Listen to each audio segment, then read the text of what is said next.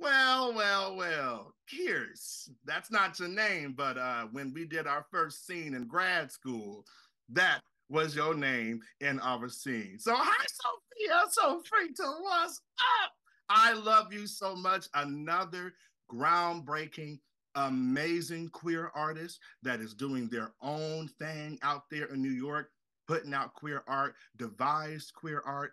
And I just wanted to take this moment to say I appreciate you.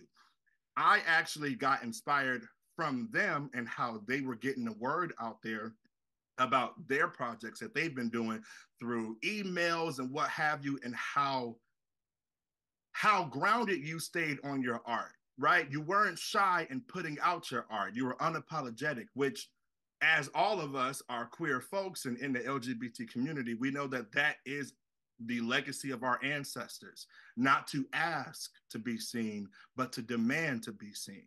So that's something that you have given me, Sophia. And I just want to publicly say, I thank you. We thank you. We appreciate you. And child, I know you're going to gag when you watch this film because it's got a lot of T and it's got K and B.